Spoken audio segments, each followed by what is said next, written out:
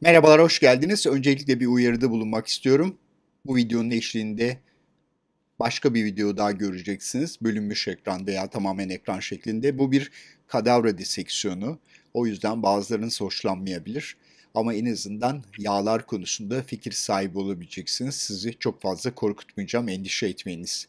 Biliyorsunuz insan vücudunda yağ hem cilt altında bulunuyor hem de aynı zamanda kabaca %90'ı cilt altında bulunmasına karşın %10 civarında ise iç organlarımızda özellikle karnın üzerindeki omentumda bağırsakların çevresinde de yağ bulunabiliyor. Hatta kalbin üzerinde de yağ bulunabiliyor. Halk arasında da kalbi yağ bağlamış deniliyor. Hakikaten bazı kalpler bizim gördüğümüz oldukça ciddi bir şekilde yağlı kalpler görebiliyoruz. Zaten onlarda kalp damar hastalıkları olabiliyor.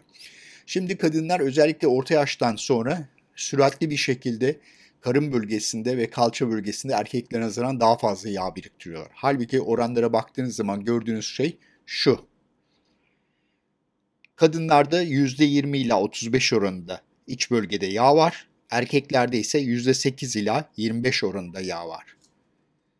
Yani erkekler biraz daha şanslı, kadınlar ise zaten doğal olarak yağ dokusundan zengin bir vücut yapısına sahipler.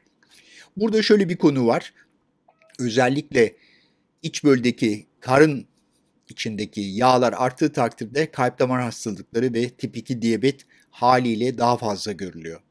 Peki bunun için ne yapmanız gerekiyor? Zayıflamanız gerekiyor ve bu çalışmaların hepsini yapan kişiler de sanırım söyledikleri ölçülerde zayıf insanlar değil, bizim kupkuru dal gibi olmamızı istiyorlar. Çünkü bütün bu hastalık risklerinden kurtulabilmek için hem cilt altı yağ dokularınızdan kurtulacaksınız hem de iç organlarınızdaki yağ dokularından kurtulmanız gerektiğini söylüyorlar. Yani sonuçta iskeletor haline dönüşmemizi bekliyorlar. Ama yağ dokusu ve yağ hücresi üzerinde o kadar çok araştırma yapılıyor ki bakın gelecekte obezitenin artışıyla beraber bu araştırmalar çok daha fazla olacak. Ve bize söyledikleri kadarıyla diyorlar ki sadece diyet yapmanız yetmez. Visceral yağ dokunuzu da ortadan kaldırabilmek için iki şey daha yapmanız lazım. Bir spor yapmanız lazım, ciddi egzersiz yapmanız lazım. Kısa süreli yoğun egzersiz yapmanız lazım.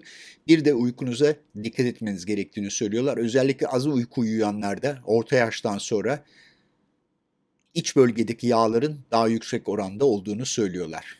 İşte bizi bekleyen müthiş görev. Yemeyeceğiz, içmeyeceğiz, aç kalacağız. Efendim değerli vaktiniz için teşekkür ediyorum. Görüşmek üzere, hoşçakalınız.